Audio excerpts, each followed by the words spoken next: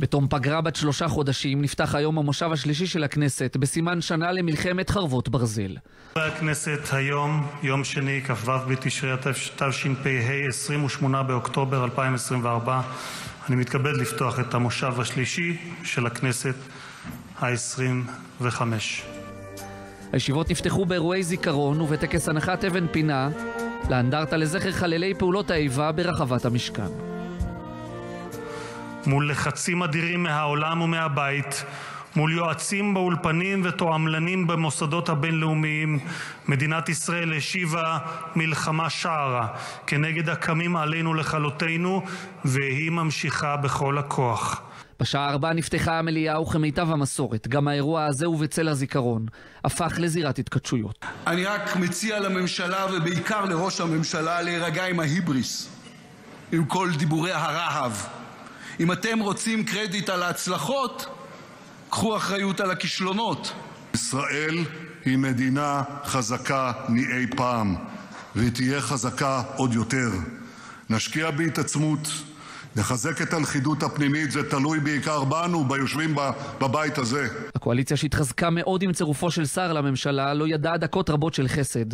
וכבר ביום הראשון של המושב התפרצה המתיחות מול הסיעות החרדיות בסוגיית הגיוס, כאשר השר גולדקנופ הצהיר ואיים כי אם החוק לא יעבור לפני התקציב, החרדים יחרימו את הצבעות התקציב. אני לא חושב שכפייה תעזור במקרים האלה. לא ראיתי שזה שכפו על חרדים גרם לכך שחייל אחד חרדי יתגייס. באהבה, בלהציע תנאים טובים. מלוויה ללוויה, משבעה לשבעה. פוגשים את כל עם ישראל, אבל לא ניתן להתעלם מכך שהציונות הדתית משלמת מחיר בצורה לא פרופורציונלית לחלקה באוכלוסייה.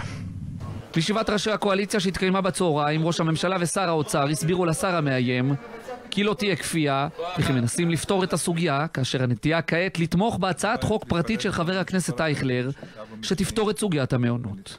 השר גולדקנופ, מה סיכמו איתכם? כרגע אנחנו לא מדברים. אני אומר לאחינו החרדים, לא פחות מכך לחברי הקואליציה. זה לא הזמן לעסקאות פוליטיות על גב המשרתים, זה הזמן להתגייס, זה הזמן לגייס.